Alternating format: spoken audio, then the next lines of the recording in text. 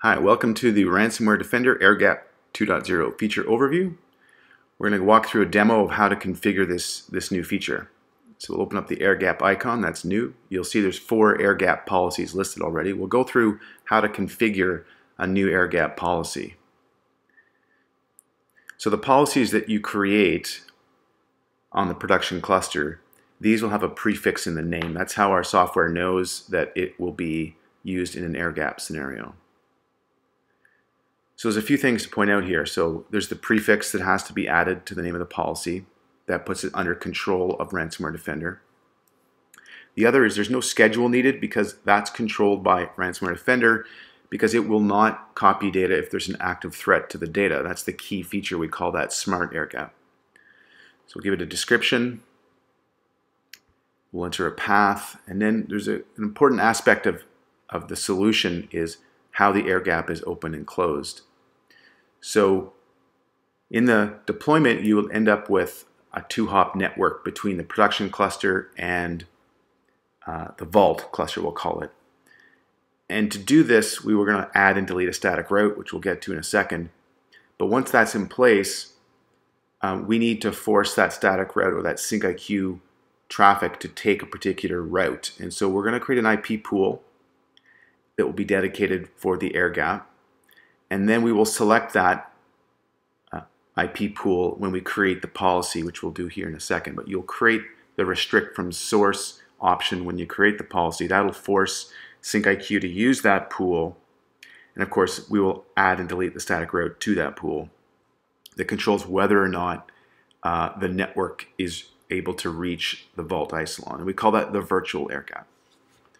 So that policy is now created with uh, you know, default manual configuration. And we set the, the IP pool. So now we need it to, to show up in the air gap GUI. So uh, for this to happen, we're going to run a configuration job. And we'll just speed this up. So we'll just click the button. So this runs discovery. This identifies any new policies. This would normally run on a schedule.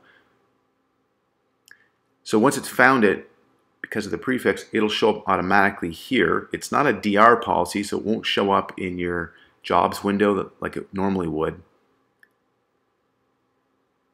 Now, when it's initially discovered, it has no schedule. So you have to decide how often you want this particular policy that's protecting some path on the cluster, how often you need that data maintained or in sync. So there's a lot of flexibility here, but we'll go through the, the settings of the static route. So this is the route that's added on how to reach the target vault isilon. So it's, it's going to be a subnet, a mask, and an IP address, and that'll be uh, an intermediate Ethernet switch that's going to route over to that vault isilon.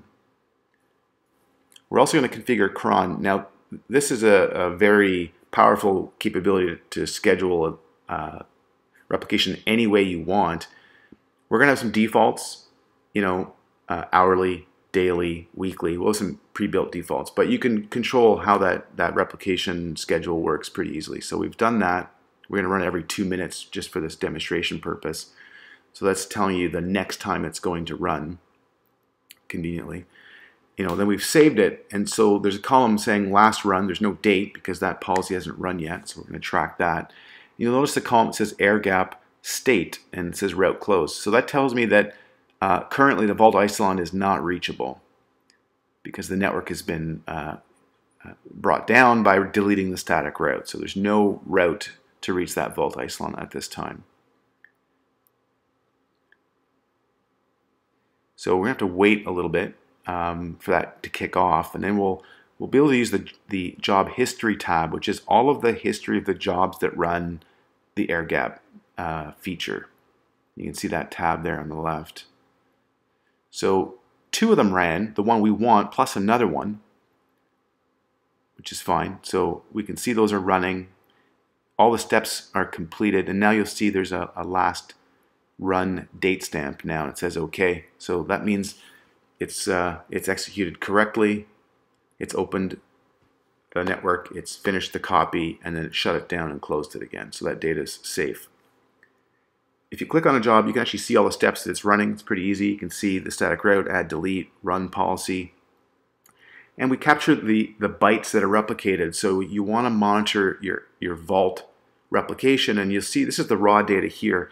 This will actually end up in uh, a report, the normal RPO report. You'll end up being able to track your replication. But this is just showing that you know the data is visible here in the GUI uh, pretty easily. So this is an overview of the feature. Thanks for watching.